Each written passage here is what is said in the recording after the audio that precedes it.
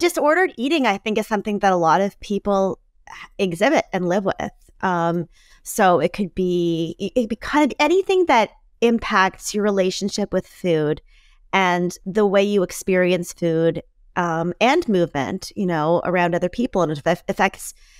You know, you don't have to have a clinical diagnosis to want to break free from diet culture and sort of um, the weight, no pun intended, but that that it carries.